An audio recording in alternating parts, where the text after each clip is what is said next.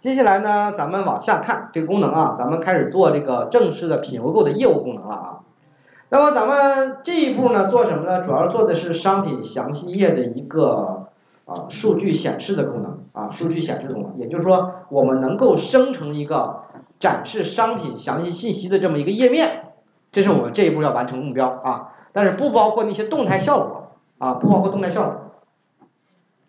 咱们接下来呢，就看一下这个怎么来实现啊。那，咱们要做这功能之前呢，还是先捋顺一下整体的思路，如何来实现。我们说这个商品相应的生成这一部分，它是不是仍然是属于一种业务逻辑啊？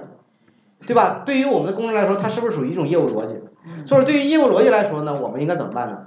应该给它单独立成一个服务，对吧？就像我搜索有搜索服务，对吧？我商商家商品有商家商品服务，啊，有这个什么广告广告服务，对吧？啊，等等等等，后面还会建很多很多服务。那么我们说这个商品详细的生成的部分，它应该是属于单独的一套逻辑，对吧？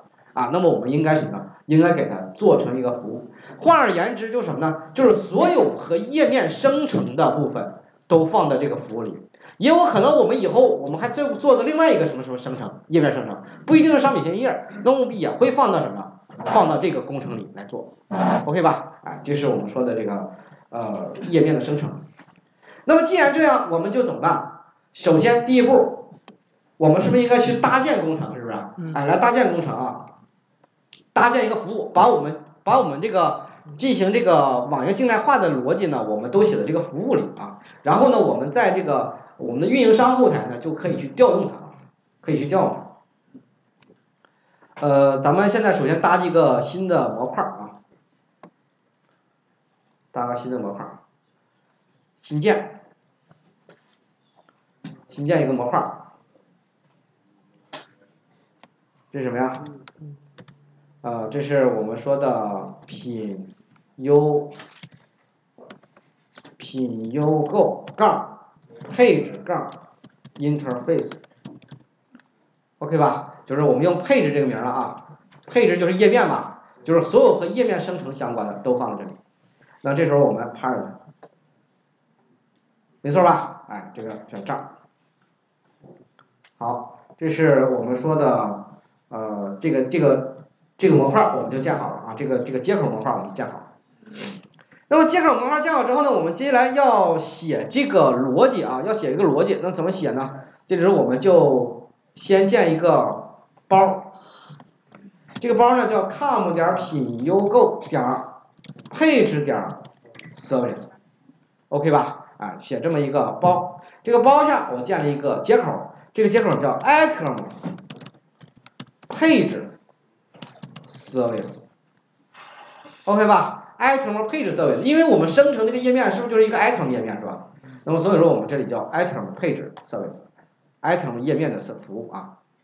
好，那这个时候呢，我们怎么办？我们应该写一个方法，对吧？哎，写个方法，比如这个方法名我叫定义什么呢？定义成呃 G N A item item 啊，就定义成这个名吧。我这里返回布尔的原因是我想知道什么呢？是成功失败是吧？我想给它一个返回值啊。那么你 void 其实也行啊。我这里为了给它给它调用方一个返回值，我这里用个布尔。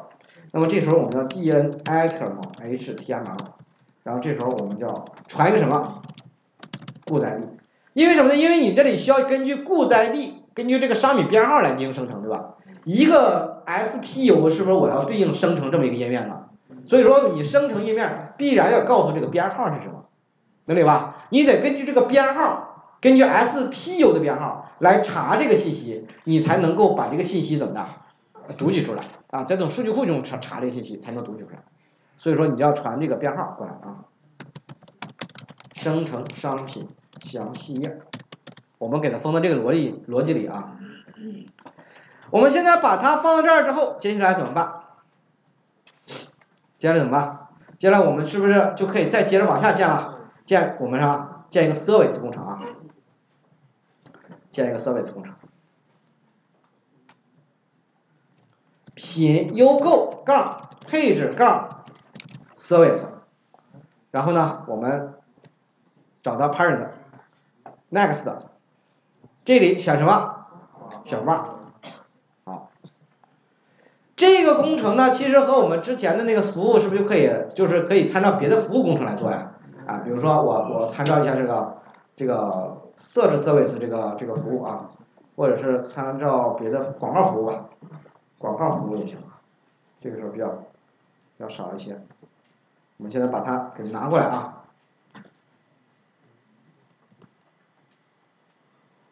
然后呢，我们打开我们的这个配置 service 啊，咱把这个部分给它粘过来啊。粘过来之后呢，这里需要改一下，前面不用改了。然后呢，接下来后边这个部分，这个部分是不是要改一下？改成配置是吧？那么 DO 呢，它也要读取的数据库的啊，它也要读取数据库的，所以说 DO 保留配置改成一个配置啊就行了。别的没什么了吧？啊，别的没什么。啊，啊，端口就改一下啊，端口改成九零零五，该该排到五了吧？啊，传个五啊。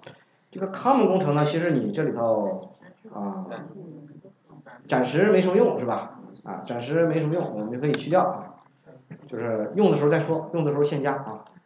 那这时候我们现在把它加之后，哦，OK 了，看明了吧？哎，这时候就把它拿过来了，把它拿过来之后呢，接下来。怎么办？接下来我们是不是 Web 的 S 面需要加进来？哎，所以说我们要去从其他的这个服务工程中把那个东西拷过来是吧？哎，然后呢，我们找到这个这个地方把它拷过来，打开看一眼，对不对啊？对吧？是吧？没毛病吧？这是一个服务工程的 Web 的 S 面啊。把它拿过来之后，接下来是不是还有一个有什么配置文件是吧？啊，就这三套东西啊。然后咱们把这个拷过来，对吧？没问题吧？哎，这就可以了啊。这个改一下吧。哎，打开，这个时候二零八八五，是吧？排到五了吧？哎，都排到五了。看这是什么？配置 service，这个也得改一下。配置，没问题吧？哎，这回把它都拿过来了。是不这样一来，这个基本的这个服务的架子是不是就搭好了？哎，搭好了。搭好之后呢，接下来我们还要在这个配置文件中做一件事儿，做一件什么事儿呢？就是我们要给它放一个 bin 进来。这个 bin 是什么 bin 呢？在这儿就是一个叫 FreeMarker.config 这么一个 bin，把这个 bin 放进去。注意这个 bin 是谁提供的呢？大家可以看一下它的包名。是 Spring 提供的一个对 for mark 的一个支持的一个配置文件，OK 吧？然后呢，这里头配了两个属性，你看这属性是干嘛用的呢？一个是模板的目录，一个是我们的字符集。也就是说，我们通过这个配置的话，如果说我们使用这个配置类的话，我们的代码呢就可以再省两步。因为我们之前所做的这个是不是我得需要去每次我都得去设置这个目录和我们字符集啊？那么这样一来，我是不是配好一个 bin，它就通过它就能获得一个配置对象，那么就不用再去写这两句了，能理解吧？也就是说，我们把那两句第二步和第三步的这个实现呢，是放到配置文件里去做了，这个能理解吧？哎，从这里去做配置就行啊。这是我们说的这个关于这个 FreeMarker 啊，就是一个配置。好。这就是我们说的，呃，它的一个基本的配置。那么接下来呢，我们再看一下这个代码的生成啊。代码生成，其实我们说还有一个东西啊，还有一个东西也比较适合于用这个呃配置来实现啊，就是我们再看一下我们之前写的那个 demo 代码啊。我们之前写的 demo 代码的话，这个地方啊，这个地方它是不是有一个生成的目录是吧？我们这里生成的是一个 D 盘的根目录，对吧？那么假如说我们在这里头呢，可以去指定一个目录，它就生成了这一部分代码。我们想一下，应不应该写成写成死的呢？不应该。不应该。你要写成死的话就很麻烦了，对不对？因为你实际中这个软件的布置环境有可能是个 Linux 系统，对吧？Linux 系统是没有 D 盘的，但是你本地开发环境是有 D 盘，是 Windows，对不对？所以说这样一来呢，就造成了很大的差异啊。那这时候呢？你而且实际的环境呢，具体放到哪儿，那真正只有在运营的时候、运维的时候，是不是才会决定的，是吧？所以说你在开发的时候是不知道这个目录存在哪儿。那这时候应该怎么办呢？我们应该把这个配这个配置啊，给提到一个配置文件里。那么这个配置文件有一种配置文件是不是叫属性文件是吧？这个属性文件呢，这个之前我们说这个 DAO，比如说这个 DAO，这个 DAO 是不是有有这么一个属性文件？呃，DB 点 properties。那好了，我现在呢也可以在这儿去建立一个什么？哎，我在这儿建立一个 property，然后呢我我把这个改下名儿，我把这改下名儿，这个改成什么呢？比如这改成叫配置，行吧？我改成叫配置。配置的话，我把这个这个改一下啊，这个就比如说叫配置 dir，我是不是就可以这么定义一下？然后 D 盘，比如说我要放到哪里呢？放到 D 盘的 item 这么一个目录里，那我是不是就可以这么指定了？然后我在我的代码中是不是就可以读取这个目录，然后直接去拼接这个东西就行了，对吧？把这个值读出来拼拼出来就行了，这是不是就就方便多了？哎，就方便多了啊！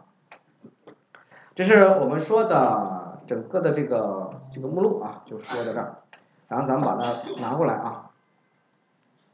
然后这时候呢，我们把这些准备工作做好之后呢，接下来呢就可以正式的来编代码实现啊。